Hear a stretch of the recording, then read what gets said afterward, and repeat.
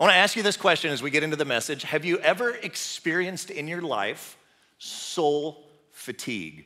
At all of our locations, would you just raise a hand if you've ever experienced soul fatigue, where you're like, I am emotionally and spiritually tired?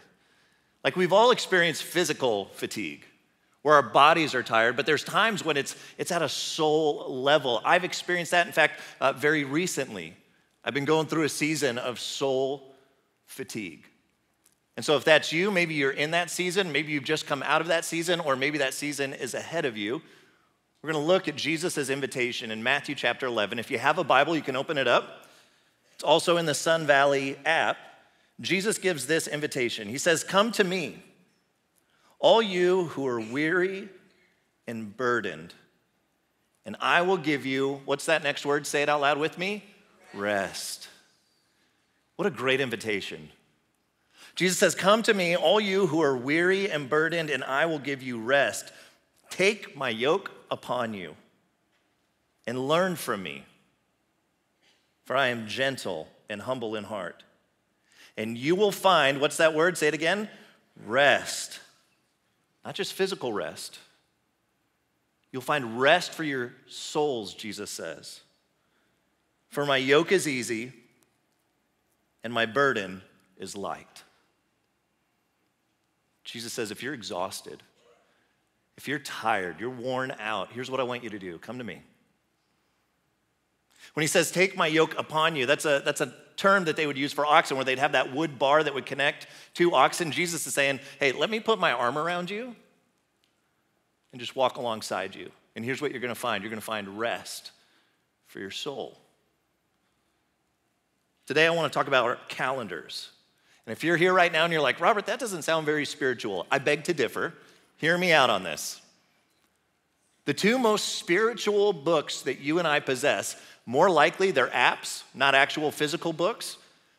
The two most spiritual books that you and I possess would be our Bibles and our calendars. And here's why our, our Bibles, this is where we receive instruction from God. God has spoken to us, He's given us His word. We receive instruction. And for a lot of the things, in fact, most of the things that God teaches us, where we apply it is actually on our calendars. Where we live this out is on our schedules, it's with our, our time, which is our most valuable, precious resource. If you're taking notes, you can write this down. How you spend your time is how you spend your life. How you spend your time is how you spend your life. Our life is made up of these moments of time, and it's our most limited resource. If I could illustrate it this way, you and I have limits when it comes to time. We don't have an infinite amount of time in this world, and it's different for each of us. Some of us will, will live a long life, some of us a shorter life, but there's a limited amount of time that each of us have. And here's what happens with our limited capacity all these things want to want to come in and take up our time. And when I talk to people and I say, "Hey, how are things going? How's life?" The thing that I hear more and more often is, "Man, things are busy." Because there's so many things that want to come in and take up that space of time that we have. And it's all of a sudden it's, "Oh, I got another meeting I got to go to." Oh, I got to take kids to soccer practice all these demands. Oh, there's a brand new season of the, whatever that show is, and I got to watch every bit of it. And so it just begins to, to take up all this capacity of our time, and, and we're busy. And another word, word for busy is we're hurried because it's just all these little things, and we're going to the next thing and the next thing and the next thing. There's a new project I've just taken on, and I'm working on this, and I, I got to get this, and these people want my time over here. And, and it's just taken up this very limited, precious resource. And the thing with time, time is free, but it's priceless. But the moment that you spend it, you never get it back. And then one day you go, you know what? There's some big things that I, I really want to make a priority for. Like my kids are getting older, and I'm realizing that before I know it, they're going to be out of the house. And when they were young, people would always say, Hey, Robert, oh, enjoy the season, man. It goes by so fast. And if you're a parent who has younger kids in the home, you probably think what I thought, and that's it's not going fast enough. It's taken forever. And now I'm at this stage where my kids are, are entering into teenage years, and I'm like, oh, wow, they were right. And now I see young parents and I tell them, I go, oh, cherish these moments. It goes by so fast. My youngest just had her sixth grade graduation, which I don't know why we have graduation for sixth graders, but we do. And so I went to this graduation and I'm waiting for them to let us in, and I'm looking around at all the parents, and I go, man. I leaned over to Lindsay, I go, these people are old. and then I realized, so am I. And so maybe you've had that moment, you go, you know what, I want to make time for, for some of the big things in life. Because at the end of our life, what really matters, all these little things that we, we get absorbed with, they don't matter as much as the big things like relationship with God. And so go, you know what? I, I want to I wanna fit my relationship with God in there. And, you know, people, obviously, people are important. God says they're the most important. And so I want to I wanna make room for some of these big things. And then, you know, what about, what about serving others? What about things that God has gifted me for? There's a verse in the Bible, it's actually a very famous verse. It's in Ephesians chapter 2. And it says, For it is by grace that you've been saved through faith. This is not by works, it's a gift from God. It's not by works, it's not by what you do, it's not by your effort, it's a gift. So you've been saved by grace through faith. It's a gift of God, not by works, so that nobody can boast and go, well, look at what I did to earn this. No, it's a gift from God. The next verse, verse 10, says, For we are God's workmanship. We are his handiwork, created in Christ Jesus to do good works that God has prepared in advance for us, that God has saved us by His grace. It's not by us earning, God gifts that to us through faith in Jesus. But then He gifts us specifically to serve others. And I gotta tell you, when life is busy and there's a lot of things going on and I'm hurried, serving others is not really a priority. Kind of gets it gets blocked out. I can't really fit it inside of this space. And then what about what about just solitude? Time to just be you, process, to spend time with, with God. And we go, well, I don't, definitely don't have time for that. There's a word in the Bible, and the word is this it's Sabbath. And it, it's one of the Ten Commandments. It's the only spiritual discipline that God says you must do this. And Sabbath comes from the Hebrew word Shabbat, which means to cease, to stop. That when God created everything, God creates the universe, and God creates day one, day two, day three, day four, day five, day six, and then on day seven, God rests. He ceases this work of creation, and He just delights in it. And then He invites us to do the exact same thing to work six days, but to take 24 hours and just go, God, I'm just gonna delight with you in creation. It's a command. And some of us would go, you know what? I don't, I don't have time for that. I can't set aside a, a whole day. There's just, there's just not enough room in here. And so, this is what our lives look like. Our lives are so busy with all of these things, and we're so hurried that there's some things that we go, you know what? There's just not gonna be space for this in my life. And we go through life, and it's moving by fast, and all of a sudden, your kid's graduating sixth grade, and you're going, man, I'm missing some of the most important things. I'm missing it because I'm so busy, I'm so hurried. And here's the problem with things like resting and enjoying nobody will celebrate that culturally. We live in a culture that's like, oh, you're busy? Yeah, me too. Way to go. We're living the dream. Nobody's gonna applaud you for taking a nap, except maybe the people who live in your home. But socially, we, we have this no, we gotta, we gotta fill every bit of space with more and more things, and, and we spend time. I mean, I just read research on our, on our phones, and you and I already know this. It, I'm not gonna shock you with these statistics. I think deep down we know we spend over four hours a day on our phones. Which, if you're doing the math, that's over two months of continuous phone usage per year. We're going, man, I don't have time for all these other things. But I could spend over two months on this thing. And we're hurried and we're busy. I love how science is constantly catching up with the Bible. There was this study conducted by Stanford, and they found that our productivity significantly decreases after 50 hours of work in a week. And yet we go, man, I think I could work 70. I think I could work 80. I think I could just keep cramming more and more in because I have a limited amount of time, but maybe I could just squeeze more into it. Turns out you can't. There was another study that was done by the Journal of Occupational and Environmental Medicine that suggests that there's almost no difference in productivity between working 55 hours and working 70 hours, that you get the same amount done. And God's saying, Yeah, yeah, yeah, I already knew that. I put it in the Bible. You guys need a break. Rest, cease to work, recharge, refuel, delight in creation. Enjoy the relationships that are all around you because if you don't pause to do that, you miss it. You just move right past it because there's all these different things happening. So God commands it. There's another study done on life expectancy, and they studied Americans to go, who lives the longest and what can we learn about them? And they found this one group that it's a, it's a religious group that's very religious about the Sabbath. They're called Seventh day Adventists, and they, they are literally religious about taking a Sabbath every single week. And it turns out they live about 10 times longer than the average American. Which, if you do the math on taking a day each week to rest and to enjoy, you actually get 10 years in that lifespan. So it's like they're getting another 20 years of life. And that's why God says, nope, you need this. Pause, cease to work. Enter into God when He creates creation, He creates all these animals and He, he blesses them. And then He creates Adam and Eve and he, he blesses them. And then He says, in this day, this seventh day, I'm blessing this time. That it's holy, it's set apart, it's different than all the other days, and it's a gift and an invitation, and God's saying, Join me in this space of time. Delight in creation with me. Sit back and look at what is good and celebrate with me.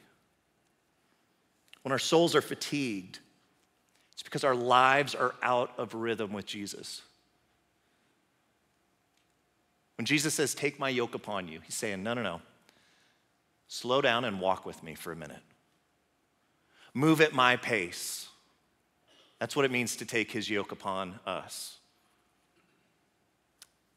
I recently read about a British explorer over a century ago who hired local villagers in Africa as porters to help transport supplies to a distant station. And on the first day, they covered a decent amount of distance. The second day, it was the same thing. And so this this British explorer decided to, to push the pace a little bit, get them to move faster. And on the third day, they covered twice as much distance. And so the British explorer is so proud and his colleagues, and they're going, man, we covered so much space. And then on the fourth day, he said, okay, guys, let's go. And we're gonna, we're gonna move again. And the porters refused to go. And he kept on asking them, you know, is anybody injured? Is anybody sick? And they said, no, we're fine.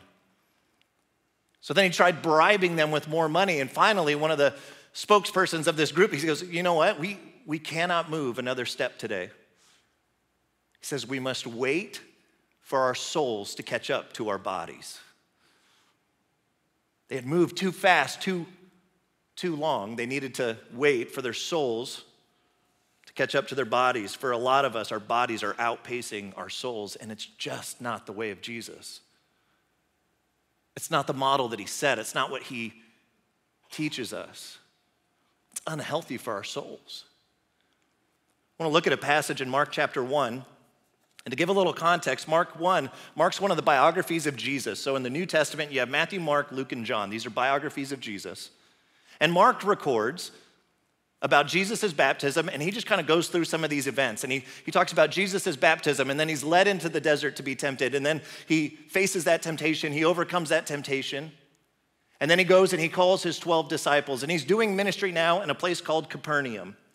And it's day one of ministry in Capernaum. He goes to the synagogue in the morning, he casts out a demon, he goes and he heals Peter's mother in law in the afternoon. And then the whole town shows up in the evening with their sick and their demon possessed. It's quite the successful first day of ministry, unless you're Peter. That's a joke, but I'll, I'll he healed his mother in law. Okay, so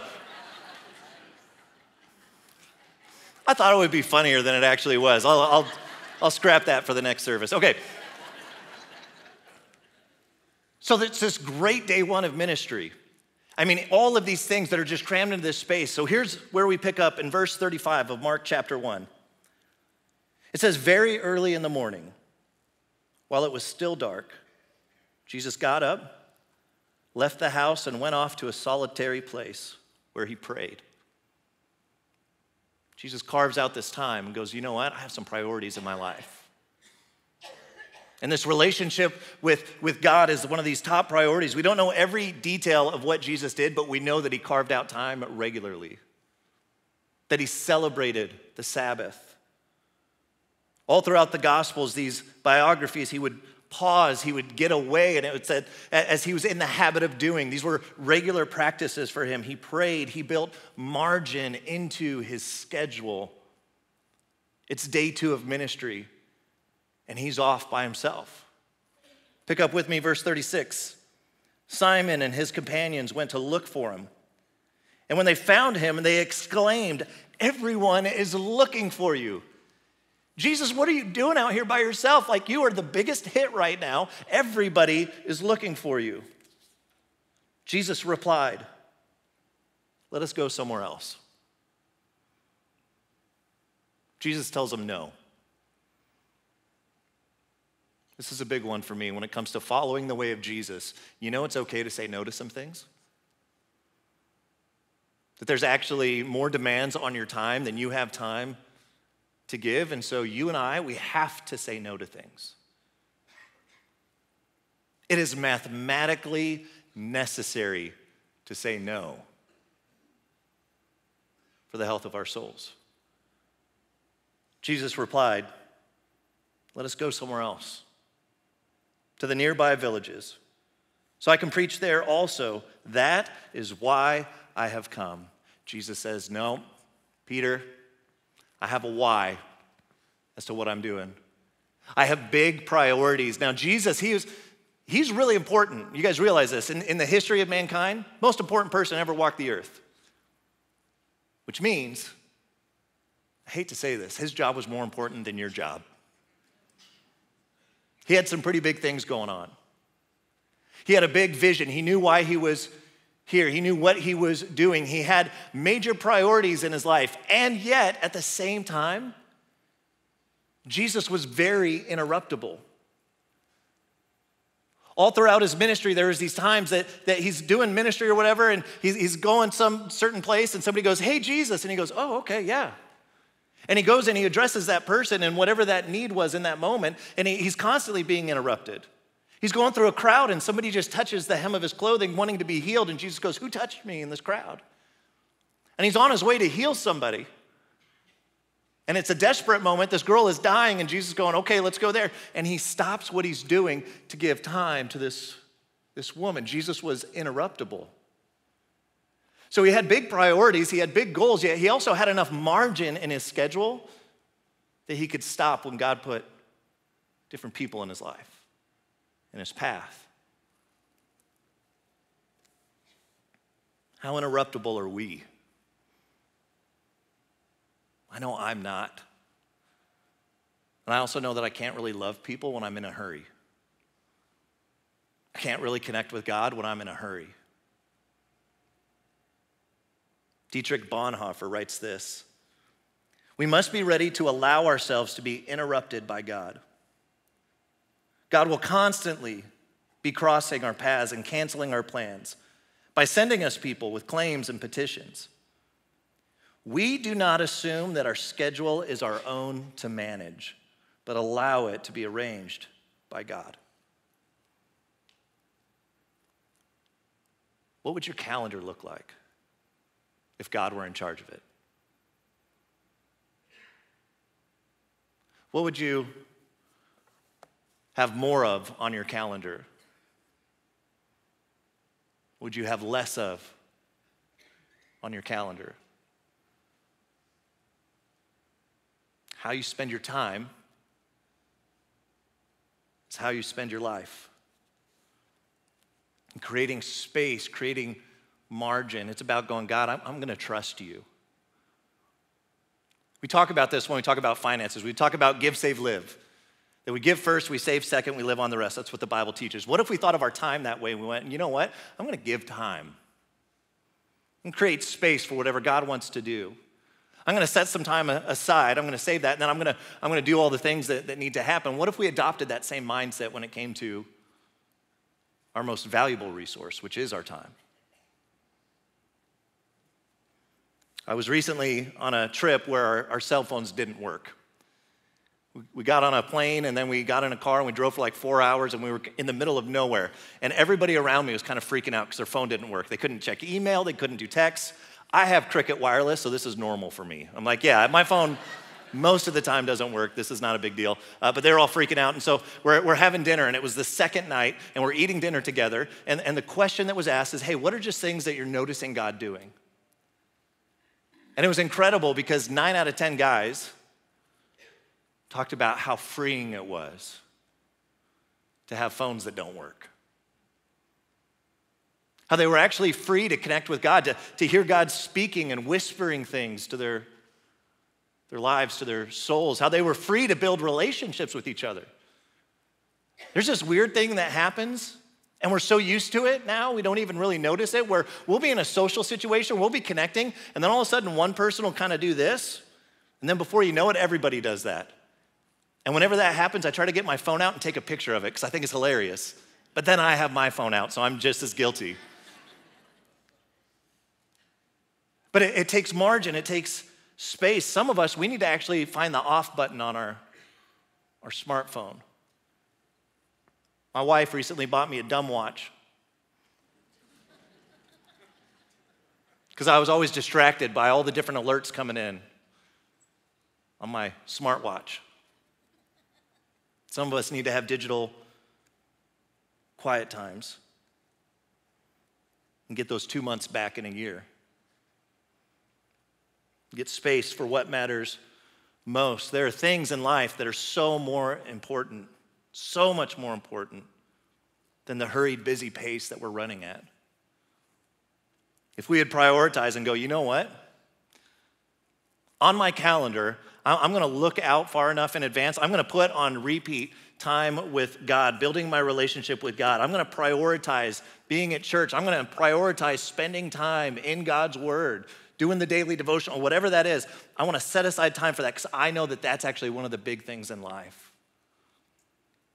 I want to set aside time for relationship with others. I realize that relationships are formed over time. You can't just microwave oven, quick form relationships. It, it, takes time to get to know people, to ask questions, to share meals together, to be hospitable to neighbors. I want to prioritize to, to serve, to use the gifts that God's given me. There's a place in Israel called the Dead Sea. And it's where the Jordan River flows in, but there's no outlet. And so it just sits there and it evaporates in the heat and it just collects all the salt and nothing can live in it. It's just this dead body of water. And then right around there, there's these springs of water coming up from the ground, and there's all this life, and there's all these animals, and it's beautiful. And they're right next to each other, and you see the contrast of, of when things flow in, but they don't flow out, versus when things flow in and through. That's how our souls are created. That we receive God's love and mercy, but then we give that away to others. And we thank God for it. That's why we gather together and we worship God and we sing songs together because we're going, God, all this love and grace that you've given us, we want to celebrate that. We want to glorify you. And then we also don't want it to stop with us. We want to share that with the world around us. We want to prioritize serving. Solitude. Some of us, we've not spent time alone to just reflect, to be with God. Or to Sabbath, to take a day each week and go, you know what, God? I'm trusting you. I'm going to put margin in my life because I trust you, God, that you're going to do something in those six days that I couldn't do in seven. And so, God, I'm going to trust you with these big priorities. And here's what's amazing when you trust God with the big priorities and you make that the first thing on your calendar, then, as all these other demands start showing up and people are going, Oh, I want time for this and meetings and all of that, you begin to find that when you made time for all the priorities, there's actually room for more than you realized. That there's actually space within your time if you'd prioritize, if I would prioritize, that we can do a lot more than we realize. With this limited thing that we've been given, this limited time that we can actually have priorities. Jesus had priorities, and yet at the same time, he had time for the distractions and the interruptions. You can't experience the things of Jesus without walking the steps of Jesus, learning from his example. Jesus says, Come to me. You guys are exhausted. You're trying to fit these things in, and they don't fit that way. You have to start with them. Learn from me. You'll find rest for your souls, Jesus says. My wife and I, every year, we go on a date and we sit down with the next year's calendar and we just begin to map out what are our priorities.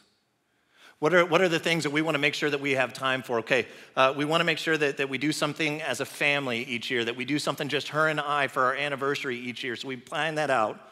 Go, okay, what are, what are some other priorities? Okay, the kids being a part of the youth group. Okay, let's mark that out. Let's repeat that. We know that's happening here in the, in the calendar. We know we want them to be involved in some other things. Okay, let's put that in there. What are some work things that we have going on? And we just begin to put together the ideal calendar as best as we can for the next year. And then each week we'll sit down at, at some point during the week and go, okay, when's our date this week? Because the way our lives work, our calendars aren't necessarily consistent. Some weeks are different for her, different for me with work with kids' sports, with all of that. So we look at the week and we go, okay, where's our date gonna be? Sometimes it's in the morning, sometimes it's in the evening. But we've set that as a priority.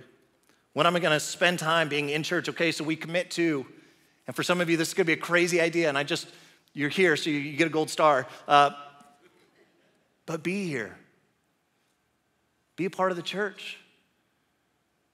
You don't realize it until you show up and you begin to, to sing and, and worship God that your soul actually needs that.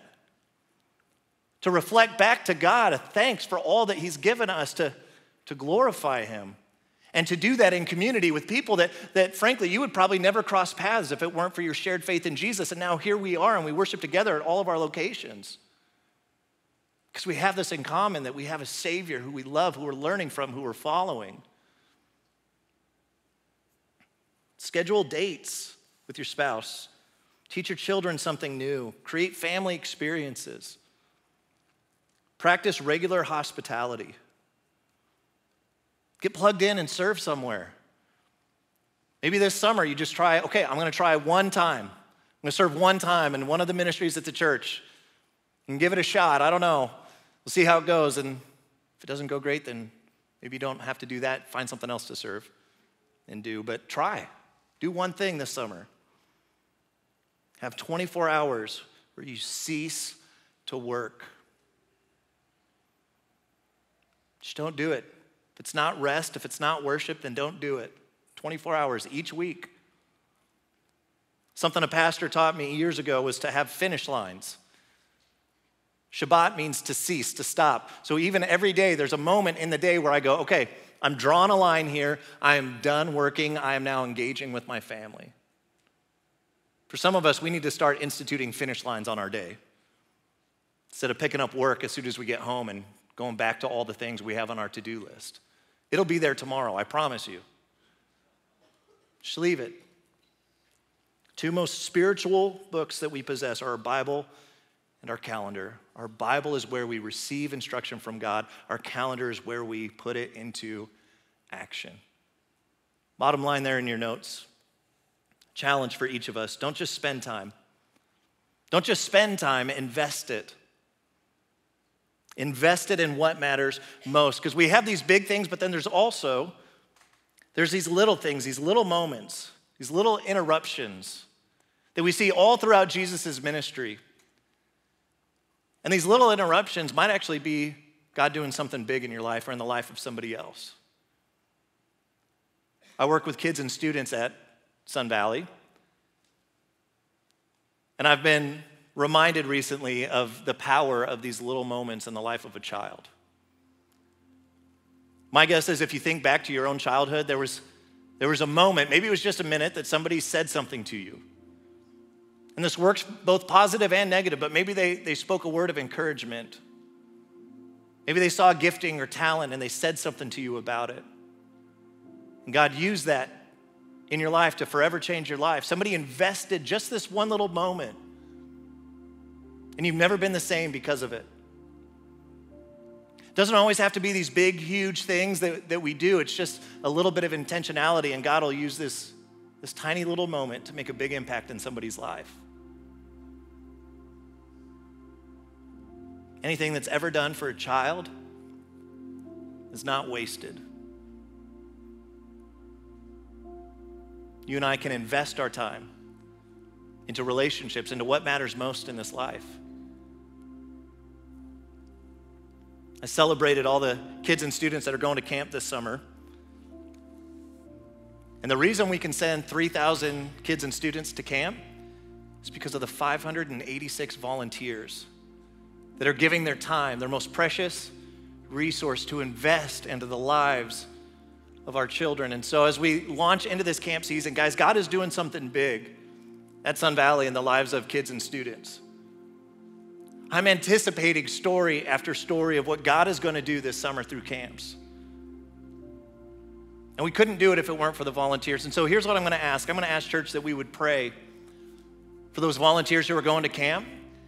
And I'm going to ask if you are a volunteer for kids camp, that's our day camp that's happening at the end of the month of June. If you're part of our preteen camp, you're a volunteer for preteen camp, a volunteer for junior high camp, or a volunteer for high school camp, would you just stand at all of our locations, wherever you are in the room?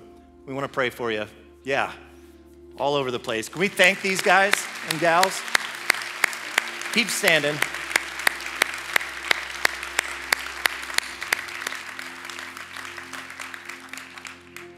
What God's going to do through you guys at camp this summer we're going to celebrate for years and generations to come. So thank you.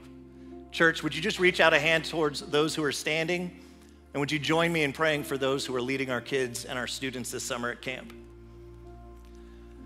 Father, for each one of these leaders, I know that it can be overwhelming. I know that it can be intimidating. But God, we thank you that, Uh, God, you've called them into this incredible ministry to invest these pearls of time, this precious resource, into God, those that you find precious. I pray that the kids and the students at camp this summer that they would have those moments, God, that you would speak through adults to them. That they would know that they are loved. That they would know that they are seen, that they, they would be known. God, that you would be glorified in that and that they would grow up to be men and women who love you, who follow you, who lead their families to do the same. God, I pray your blessing over each one of these leaders. I pray that they would find energy, that they would find fuel for their souls, even though I know their bodies are going to be tired going to camp. To being a part of that, God, would you, would you ignite something? Would you energize them? Holy Spirit, would you bless them in ways that only you can? God, may we see a generation that grows up to follow you and to lead others to do the same. Work through these leaders, we pray, at all of our locations. And we pray again your blessing over them in Jesus' name. Amen.